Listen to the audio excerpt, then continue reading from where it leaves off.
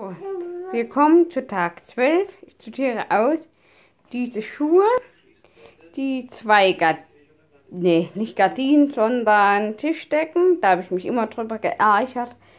Äh, und ich will mich ja nur noch mit Dingen umgeben, die mich glücklich machen, also kommt der Mist weg.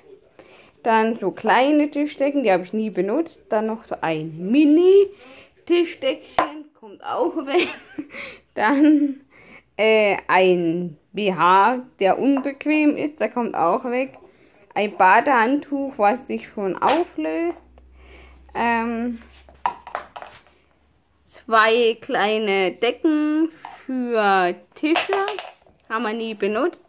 Äh, und dann hier dieser Topflappen, da liegt der zweite liegt hier, den sortiere ich auch noch aus. Ja. Und wie gesagt, hier die Tischdecke noch, dieses Plastikteil gehört nicht dazu.